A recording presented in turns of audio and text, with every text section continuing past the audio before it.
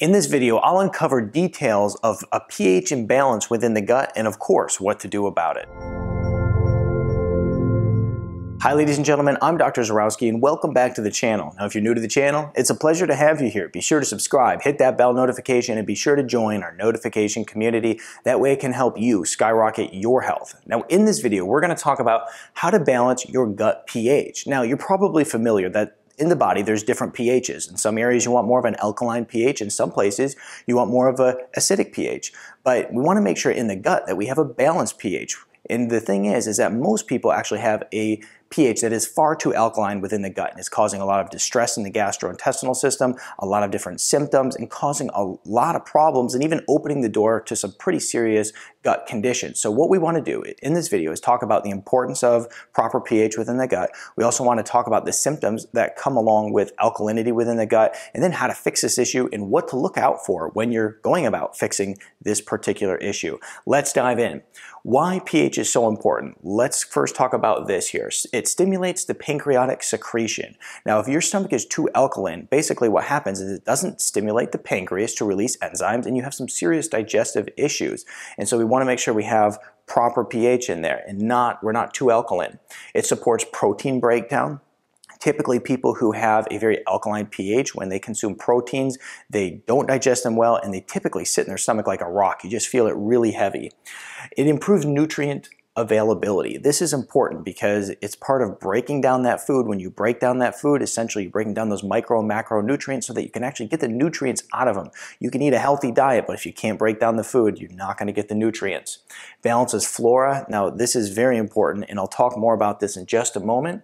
It improves absorption and also improves immune function. If you have a healthy gut, you typically have a pretty healthy immune system. They go hand in hand. Let's talk about alkaline pH symptoms. Now, you're going to look at these, you're going to go, well, you know, this is 100% me and this is kind of me or this is not me at all. So if you're not, if this isn't you at all, then that's okay. That's good. You have a good healthy pH and you're not too alkaline. But if this is you, then you really want to pay attention to this. Increased burping and bloating, especially after meals. Also, bad breath. Like we all know that person who has the terrible, terrible breath. You just need to tap them on the shoulder and be like, hey, your pH is off. Um, gas after meals, typically directly after meals.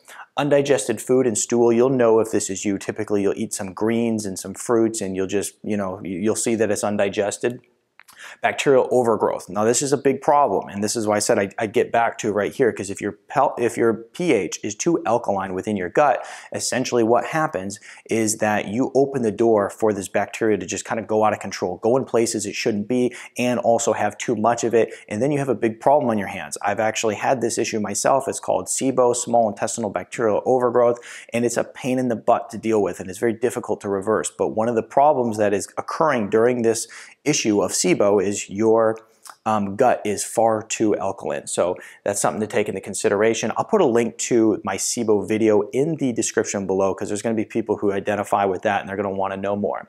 Difficult bowel movements, sense of fullness during and after a meal.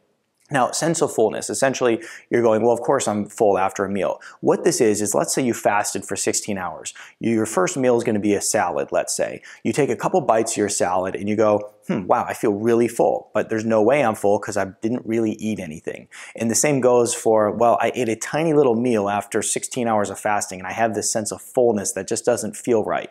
And so that's what I'm talking about. Not, well, I just ate like a pig and now I'm super full and can't move. That's not it. Now, the other thing here is difficulty digesting food, particularly vegetables, um, also fruits, and even proteins. I said like before, you know, you'll see those undigested vegetables that are basically in your stool, and then you'll also see the proteins when you go and eat them, they just sit like a rock in your stomach. Um, nutritional deficiencies. Now, this is important, as I mentioned here, that it's going to improve nutrient availability when you have proper pH. Well, if you go and have an alkaline stomach, you're going to get these deficiencies because you're not getting the enzymes, you're not getting the proper stomach acid to break down those foods properly so you can get the nutrients out of them. And then, of course, lastly, symptoms of decreased enzymes. Now, if you've watched the other video that I did on decreased enzymes in the gut, then you'll know a lot of the symptoms associated with it. If you haven't seen it, I'll put it in the description below because what you're seeing here is that basically when you have a problem with an alkalinity, an alkalinity issue within the gut, you also typically have an enzyme issue. You have a whole complex digestive issue going on. And by improving the acidity within the stomach, you're going to improve enzymes as well. Let's talk about best ways to increase stomach acid. Like I said, I've worked with a lot of people who have had issues around the um, imbalance of pH within the gut, and it causes a lot of different um, conditions. And so here's some of the ways that we go about increasing the acidity within the stomach. We're going to use L-glutamic acid. It's basically just a good acidifier for the gut, helps out a lot. Betaine HCl, it works in a couple ways. First of all, it's a methyl donor. It's also an osmolyte. The other thing that it is going to do is just help increase the acidity within the gut. So betaine HCl is powerful. Pepsin as well, because what happens is when you have a decrease in HCl within the stomach, you have a decrease in pepsin and you have a hard time digesting proteins. And so that's why I like to add pepsin in as well. And then lastly, gentian root. Now the gentian root is powerful because it's going to support boosting up that HCl, but it also is going to stimulate the pancreas to release digestive enzymes.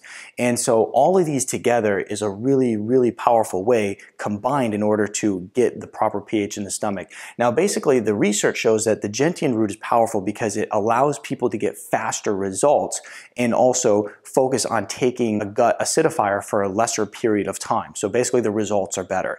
Now, what I'll do is I'll put a link in the description below to a formula that I use clinically and is worked for a lot of people.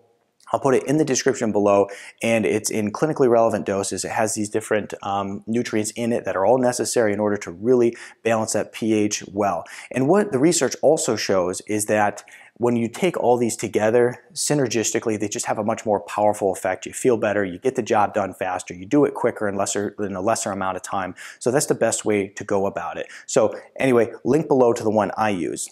Now, how to use it? This is the next big question because there's a couple things you need to know. First of all, the best methods are going to be use it while going and um, consuming your meal, so during your meal and then or directly after your meal.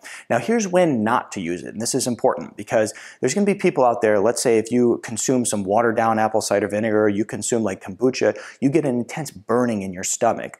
Well, essentially there's a good chance you have a stomach ulcer, a duodenal ulcer. So what happens is if you have a pH problem and then you try to, you know, increase the acidity within the stomach because it's too alkaline, but yet you're putting this acid, I mean this is basically putting an acid in there if you put that in there, then you're going to get uh, intense burning feeling. And so if that's you, then you're going to have to back off this a little bit and you're going to have to focus on healing that ulcer and you're going to have to focus on gut inflammation. And I'll put a link in the description below to a video on gut inflammation that'll be helpful for you in this case. So when using this method, essentially we don't want to just put more acid in the stomach. We want to use a synergistic approach with a bunch of different nutrients that's going to get the job done correctly in order to see the best results. So if you're someone who looked at these symptoms and you said, that's me, then you want to focus on increasing the acidity in the stomach. If you looked at this and said, um, this has nothing to do with me, then don't worry about it. And someday down the road, maybe this will come up and you'll know what to do.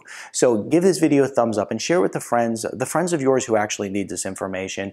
And if you have any questions, comments, put it in the description in the comment section here below. I'll have lots of resources in the description.